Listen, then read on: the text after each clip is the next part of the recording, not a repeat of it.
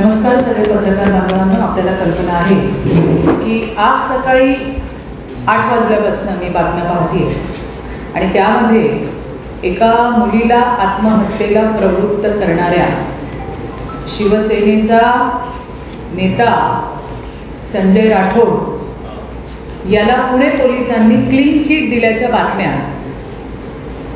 या त्या ठिकाणी व्हायरल झाल्या.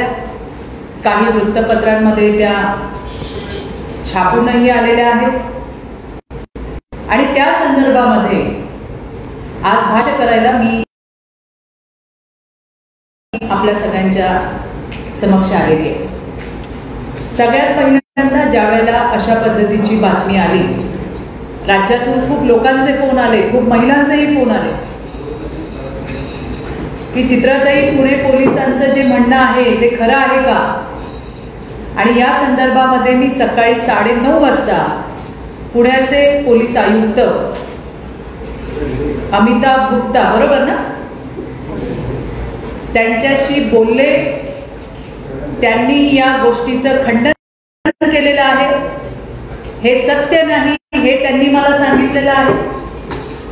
त्याच्यानंतर मी ADG law and order Maharashtra यांच्याशी काही वेळापूर्वी बोलले. त्यांच्याही कानावरती ही गोष्ट घातली आणि याच्यात सत्यता आहे का याची विचारणा केली? त्यावर त्यांनी त्यांना माहीत नाही परंतु जर सीपींनी असं सांगितलं असेल तर त्यामध्ये सत्यता असली पाहिजे हे एडीजी साहेबांनी सांगितले. सीपींनी मला हेही सांगितलं की याच्यामध्ये सत्य नाही हे खोटं आहे.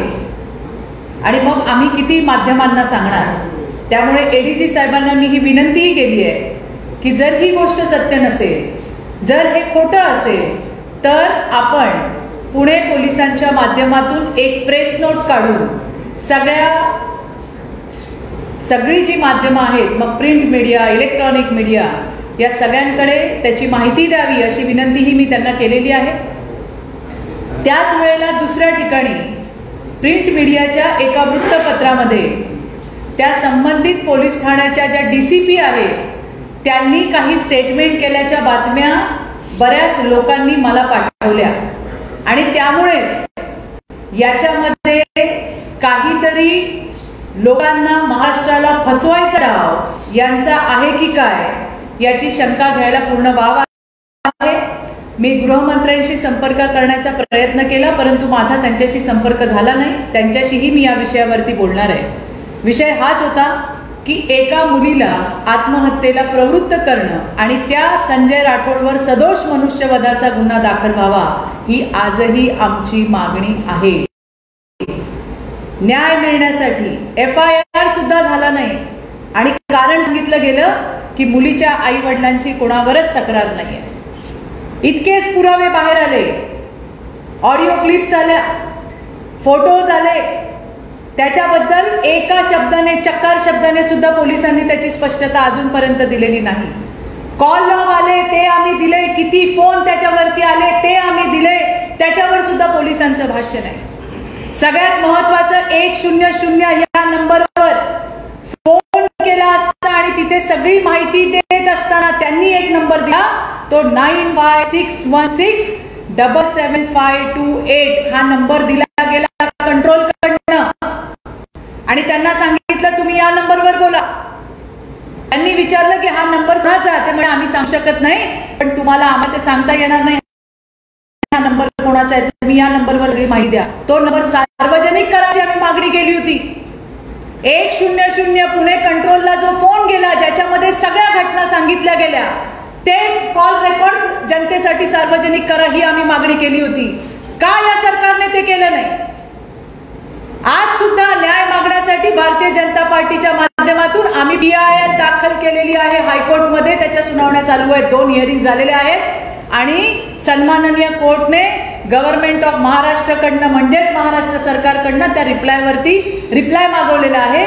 दोन हिअरिंग झाल्यानंतर आता मात्र परंतु आमचं या केसवरती बारीक लक्ष आहे. आणि या सगळ्या गोष्टींमुळे जर याच्यामध्ये एका ठिकाणी सीपी सांगतायत की या गोष्टीमध्ये सत्य नाही या बाबीचं ते खंडन करतायत दुसऱ्या बाजूला त्यांच्याच डीसीपी असलेल्या मॅडम त्या ठिकाणी स्टेटमेंट आणि हे जे प्रश्न सगळे आहेत कॉल रेकॉर्डिंगची सत्यता कोण तपासणार? त्याच्याबद्दल काही एक बोललं गेलं नाही. मी आज सुद्धा दाव्याने विश्वासाने सांगू शकते की हा आवाज दुसरा तिसरा कोण नाही. महाराष्ट्राचं शेपडं पोर पण सांगेल की हा आवाज दुसरा तिसरा कोणाचा नाही. तर फक्त सन राठोडाच आहे. त्याच्यावर दोष मनुष्यवधाचा गुन्हा दाखवावा ही मागणी आज सुद्धा आमची आहे. आणि त्यासाठीच आम्ही न्यायालयाचे दरवाजे खटखटवलेले आहेत. आणि जर इतक्या बातम्या येत असताना पुण्याचे पोलीस आयुक्त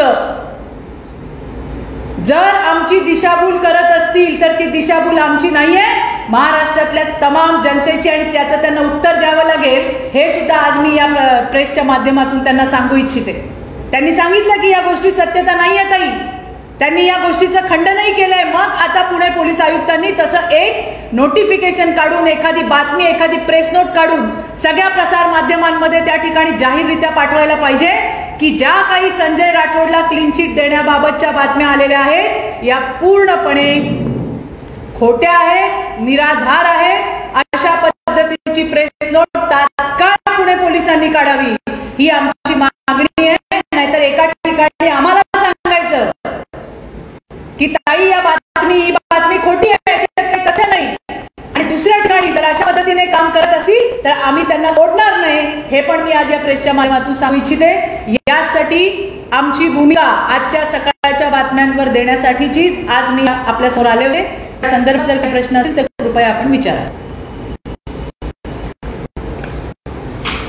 तुमची सातत्याने गुन्हा दाखल करण्याची मागणी आहे त्यावर तुम्ही सगळं काय करणार आहे सांगू पोलिसांची म्हणजे इतकी आज अशी पद्धत आहे आज परिस्थिती आहे महाराष्ट्रामध्ये की एका ठिकाणी एवढा मोठा गुन्हा आला एवढे एव्हिडन्स बाहेर आले तरी सुद्धा एफ आय आर होत नाही.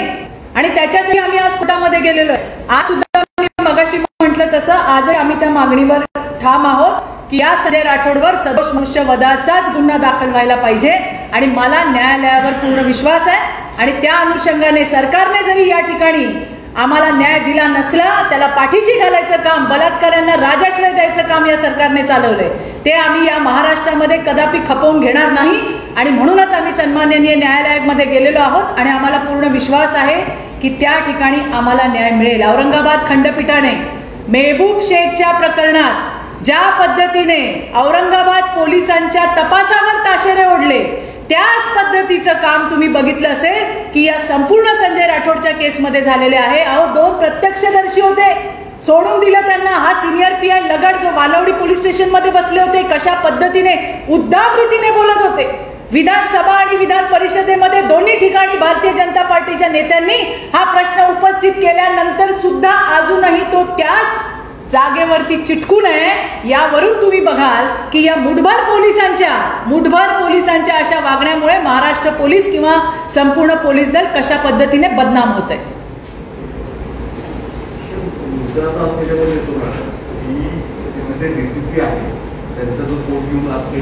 आवाज नाही येते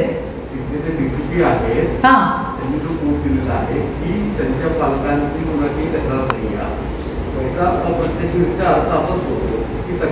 अहो हे तर पहिल्या दिवसापासून बोलतायत पोलीस.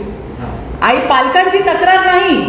पण पालकांची तक्रार नसेल तर जे इव्हिडन्स पब्लिकमध्ये आलेले आहेत, जे तुमच्याच माध्यमातून चालवले गेले इथे जितके चॅनल आहेत असं एकही चॅनल नसेल ज्याने ती बातमी चालवली नसेल ते तर आम्हाला तुम्ही कन्वर्ट करून दाखवलंय की बंजारा भाषेतून मराठी भाषेत त्याचा अर्थ काय होतो ते. आणि मग ते जे बाहेर आले ते काय आहे? त्याच्यावरती काय म्हणणं आहे त्यांचं? फोटोंचं काय म्हणणं आहे? आम्हाला काही कोणाची इथं बदनामी करायची नाहीये.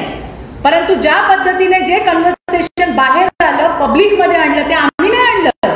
ते प्रचार त्या प्रसिद्धी माध्यमातून सगळ्या वेगवेगळ्या चॅनल्स त्या ठिकाणी आलेलं आहे. आणि त्याची स्पष्टता सरकार कधी देणार. गृह कधी देणार? पुणे पोलीस कधी देणार? एक शून्य शून्यला फोन केल्यानंतर एक नंबर दिला जातो आणि त्या नंबरवर सगळं सांगा म्हणतात तो नंबर कोणाचा हे सांगितलं जात नाही तो नंबरही आम्ही दिला त्याच्याबद्दल कधी बोलणार क्लीन चिट द्यायची एवढी घाई लागली आहे सगळ्यांना पण अजूनही मी म्हणते की ज्या पद्धतीने मला पुणे पोलीस आयुक्तांनी सांगितले कारण पोलीस आयुक्त पुण्यासारख्या शहराचे किंवा कुठल्याही शहराचे पोलीस आयुक्त ही फार मोठी जबाबदारीची पोस्ट आहे. तिथे बसून माणूस बेजबाबदार बद- विधानं करणार नाही अशी माझी धारणा आहे. आणि त्यामुळे जर या बातमीमध्ये काहीही तथ्य नसेल तर पुणे पोलिसांनी एक प्रेस नोट काढून ती सगळ्या महाराष्ट्रामध्ये सर्क्युलेट करावी की ह्या बातमीमध्ये काही तथ्य नाही. आणि काही? Thank you.